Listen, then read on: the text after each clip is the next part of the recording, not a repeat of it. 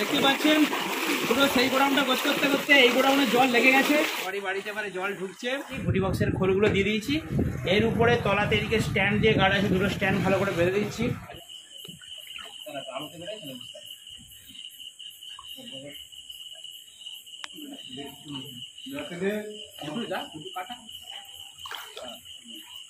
বুঝাচ্ছে?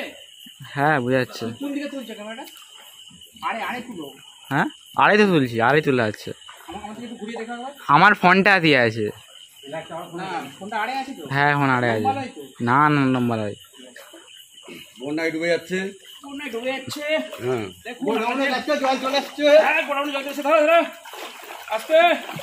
হ্যাঁ কীভাবে টিএমএস সাউন্ডের বক্স হচ্ছে খালি। ঠিক আছে? ক্যামেরা করছে। হ্যাঁ বোঝাচ্ছে হ্যাঁ দেখতে পাচ্ছেন পুরো সেই গোডাউনটা গোছ করতে করতে এই গোডাউনে জল লেগে গেছে।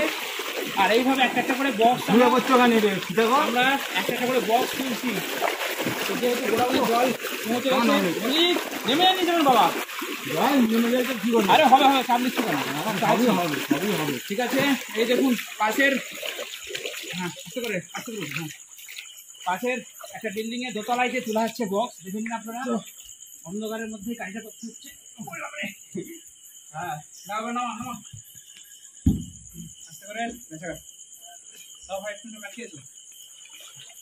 দেখতে পাচ্ছেন? এখানে অন্ধকারের মধ্যে আমরা করছি। এক ভাই ফ্ল্যাশ দেখাচ্ছে আর ওখানে একটা ল্যাম্প টাঙিয়েছি। প্রচণ্ড মানে জলটা এত বাড়ছে বিকালবেলা সেই গোডাউনটায় গেছি। কিন্তু গোডাউনের মাল গোছ করে আস্তে আস্তে এখানে জল চলে এসছে। কি গুড্ডু? সেখানে গোছ করে আস্তে আস্তে এখানে জল চলে এসছে। তো এই সিঁড়ি দিয়ে এইভাবে তুলতে হচ্ছে। কতটা কষ্ট ভাবুন আমাদের এখানে এই কন্ডিশন বন্ধু জানতে চাইছিল যে দাদা তোমার গোডাউনে কতটা জল? তো দেখতে পাচ্ছেন, চারটে বক্স তোলা হয়ে গেছে। এটা লাস্ট বক্স ছিল। আর মেশিনগুলো, বাকি যত চং টং যত কিছু জিনিসপত্র, সব যে গোডাউনটা ছিল আমার, ওই দাদাদের উপর তলাটায় রেখে দিয়েছি। আর বক্সগুলোকে পাশের এক কাকুর বিল্ডিং হয়েছে, এখানে দোতলায় রেখে দিয়েছি। তার আবার পাট দেখতে পাচ্ছি বাঁশ সব আছে। ওদেরকে দেখাচ্ছি। চলো। এবারে দেখুন বক্সগুলো কোথায় রাখছি? একদম সেফ জায়গায় রেখে দিচ্ছি কোনো চাপ নেই কি ভাই? হুম চলো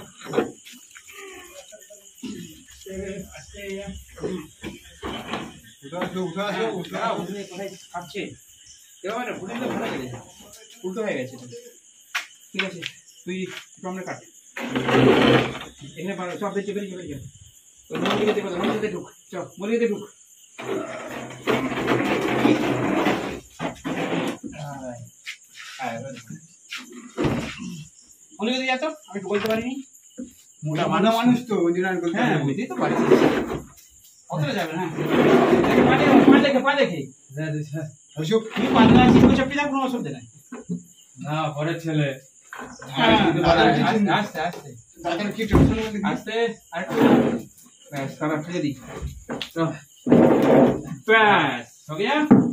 তো দেখতে পাচ্ছেন, চারটে বক্স একবার আমরা সেফ জায়গায় রেখে দিয়েছি। উপরতলায় বক্স তোলা মানে বুঝতেই পারছেন, ঘাম যে কত লিটার ঝরে যাচ্ছে কোনো ঠিক নাই। তো চলুন, বাকি মালপত্রগুলো কোথায় আছে সেটা আপনাদেরকে দেখে দিচ্ছি। তো বন্ধুরা এখন রয়েছি আমার গোডাউনে দেখতে পাচ্ছেন দোকানটা, আর গোডাউনে বলতে এই গোডাউনে বেশি বক্স নেই, সেই গোডাউনে বক্স আছে। তো সেগুলো সেখানে পাশের একটা দোতলা বিল্ডিং আছে, সেখানে তুলে দেবো বক্সগুলো আর মেশিনগুলো বের করে নিয়েছি, দেখতে পাচ্ছেন মেশিনগুলো সব গোজগাজ করে নিয়েছি। আর জানি না কবে কীভাবে ভিডিও বানাবো। আর জল কিন্তু মাঠে প্রচণ্ড বাড়ছে। মানে আমাদের দোকানের সামনে যে পিচ রাস্তার এটাই জল এসে যায়। তো সেই জন্য আমি যেহেতু সেখানে গোছ করব, এটা আগে থেকে আমি সচেতন হয়ে যাচ্ছি। তো মেশিনগুলো পাশের এক দাদার বাড়িতে উপরতলায় রেখে দেবো। আর চংগুলো ভিজলেও বা ডুবলেও কোনো অসুবিধা নেই, কারণ আগের বছর এখানে জল উঠে গেছিল, ঠিক আছে? এই এতটা জল উঠেছিল একটা হালকা লেভেল আছে, দেখতে পাচ্ছেন?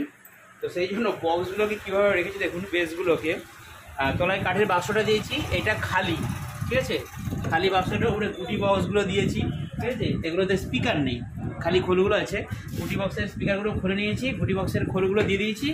এর উপরে তলাতে এদিকে স্ট্যান্ড দিয়ে গাড় আছে, দুটো স্ট্যান্ড ভালো করে বেঁধে দিচ্ছি এটা মল্লিক বাঁধছে। আর এখানে একটা প্রেসার দিয়েছি প্রেসারের উপরে এখানে মিক্সার মেশিন টেশিনগুলো সব রেখে দেবো ছোটোখাটো হালকা জিনিসগুলো। আর এই টেবিলটার তলায় ইম্পর্টেন্ট কিছু নেই। এই টেবিলটার উপরে বেসটা রাখছি ঠিক আছে? আর বেসটার ওপরে দুটো ফিডব্যাক বক্স তুলে দিচ্ছি। আর এই দিকটা পুরো খালি করে দিয়েছি। আর তার ইউনিটগুলো কোথায় রেখেছি দেখুন। একদম এই যে হাইট মানে আমার দোকানে এতটা জল কোনোদিনই হয় না। এই যে ওপরে কাঁচের আলমারি ভিতরে তার দেখুন, সব ইউনিট এলটি সব একদম এক মানুষ উপরে রেখে দিচ্ছি। আর আমার যে ল্যাপটপ আছে প্রিন্টার আছে, এগুলো আমি এর আগে দুবার বন্যা এসেছিল, তখন এই কাঁচের উপরে রেখে দিচ্ছিলাম মানে হায়েস্ট এই যে লেভেল আছে এখানকেও জল উঠে না, এইখানটাকে হায়েস্ট উঠেছিল। অতএব তখন উঠেছিল বলতে বাঁধ ভেঙে গেছিল হড়কা পড়ে গেছিল, প্রচণ্ড মানে জল এসেছিল, সেই জন্য এতটা লেভেল হয়েছিল। তো আজকে মানে এবারে বন্যাটা অতটা হবে না। সেই দুপুর থেকে গোছগাছ চলছে মানে বাড়িতেও গোছগাছ চলছে, সারাদিন এইসব গোছগাছ হচ্ছে। আর অ্যাম্পলিফায়ারগুলো সাইডে ওই বললাম কিন্তু বাড়িতে ওপরতলায় রেখে দেবো। তো এই হচ্ছে আমার এই দোকানে মানে এই গোডাউনটার এই অবস্থা। আর পাশের দোকানদাররা মানে হয়তো সামনে বাড়ি, ওরা গোজ করে আমার তো একটা দূরে বাড়ি, সেই জন্য আগে থেকে আমি গোজ করে রাখছি। সামলাতে পারব না একা মানুষ তো। তো এই দিকটা গোছগাছ চলছে, আর ওইদিকে সেই গোডাউনটাতেও যাব একটু পরে, গিয়ে সেটাও আপনাদেরকে দেখাবো, সেখানে কি সেখানে কিন্তু জল চলে এসছে অলরেডি এখানে একটু পরে আসবে। এইখানটা মানে নিরঞ্জন বাটি এখানটা অনেকটা উঁচু আছে। এখানটা লাস্টের দিকে আসবে। বন্যা, বন্ধুরা, আমার জানতে চেয়েছিল, দাদা, তোমার গোডাউনে কতটা জল? অবশেষে যেই বন্যার আশঙ্কা করছিলাম, সে অলরেডি এসে আমার গোডাউনে হাজির। তাহলে মালপত্র কোথায় থাকল? দেখতে পাচ্ছেন ভিডিওর মধ্যে দেখতেই পাবেন। মালপত্র পাশের একটা কাপড় বিল্ডিং আছে তার উপরতলায় তুলেছি। আর যেই দাদার গোডাউনটা ভাড়া নিয়েছি, তাদের উপরতলায় বাড়ি আছে। যত মেশিনপত্র বলুন বাক্স টাক্স এভরিথিং জিনিসপত্র কিন্তু টোটাল আমি ওই দাদাদের উপরে তুলে দিয়েছি। আর মল্লিকার আমি আরও দুজন ভাই লেগেছিল চারজনের সহযোগিতা করে। মানে কি, এতটা এখানে জল হতো না, আমি বয়ে নিতাম। বিকালবেলা আমার যে আরেকটা দোকান আছে সেখানে নিরঞ্জন বাড়িতে সেই গোডাউনে মালগুলো গোছ করতে গেছি। তখন এখানটায় জল আসেনি। তো জানি এটা আজকে হয়তো করব না, কালকে সকালবেলা করব। কি হোক ক্যামেরা দাদা? জানি সকালবেলা করব কালকে, কিন্তু এই ইনস্ট্রুমেন্ট নিয়ে আজকে সেদিকটা গোছ করে আসছিলাম, কিন্তু দুঃখজনকভাবে যখন সন্ধ্যের প্রায় হব হব, সন্ধ্যের গায়ে গায়ে এসে দেখি এখানে প্রচণ্ড জল হয়ে দেখতে পাচ্ছেন কতটা জল হয়েছে আমার গোডাউনটার কাছে। আর এই জায়গাটাই আমার গোডাউনটা দেখতে পাচ্ছেন, পুরো মানে আর এক হাত হলে আমার বক্সের ভিতরে জল ঢুকে যাবে। ঠিক হলো? চলে যাও। হ্যাঁ কোনোভাবে জল চলে গেছে? হায় হায়। তোমারই বাড়িতে মানে জল ঢুকছে। আর রেস্টটাও রেস্টটাও কীভাবে আসে দেখতেই পাচ্ছেন। আর ভিডিও বানাচ্ছি বলে বলতে কি। আর গোডাউনের জল পুরো লেগেই গেছে। আর কী করব? এরপর বসে থাকা ছাড়া আর কোনো কাজ নেই। হ্যাঁ? আর বন্ধুরা আমাকে বলছে, মাছ ধরো। ঠিক আছে, আমি মাছই ধরবো এবারে কাল থেকে। আজকে সেটাপের সমস্ত মালপত্র একবার উপরতলায়। সেফ জায়গায় গোছ করে দিয়েছি। আর নো প্রবলেম কি মল্লিক? এসো বন্ধুদের কিছু বলো মাছটা ধরবে তো। হ্যাঁ, ধরবে তো? মাছ তো ধরা হবে দাদা ফোন করে তখন মাছ আনতে হবে দাদার ঘরে। আমার জাল আছে বড় বড়। আমি আর মল্লিক খালি এবার বন্যার জলে মাছ ধরবো আর খাব দাবো ঘুরবো আর কোনো চাপ নেই ভাড়াও নেই কিছু নেই। আর ভিডিও বানাবো আপনাদেরকে শেয়ার করব। আপনারা কিন্তু আমাদের বর্ষার ভিডিওগুলো দেখবেন তো কমেন্ট করে জানান।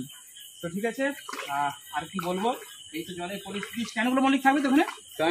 স্ট্যান্ডগুলো থাক ও ডুবুক লোহার জিনিস